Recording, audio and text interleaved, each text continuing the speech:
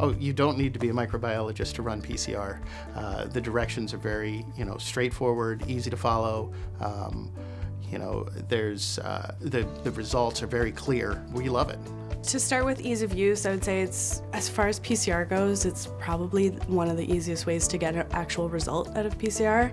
Uh, I did PCR in school and I hated it because um, it's a lot of work. With the Veriflow, I couldn't believe how easy it was. Like anybody who, even someone who doesn't have PCR experience could do it.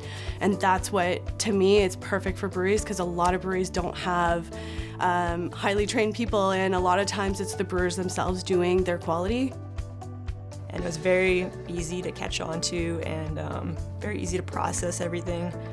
And uh, not too many steps to where you could accidentally um, contaminate your samples or you know cause issues that would give you false results. Um, so that's really nice. I was able to take that information and train um, for their lab technicians and um, it was pretty easy.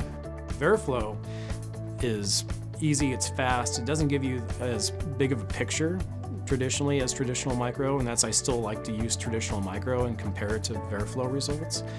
But if you're a small brewery that just needs to know is like, is this infected or not? And it, it, can do it fast, then it's it's huge. And I always recommend to people starting up breweries and their quality programs to start out with Veriflow.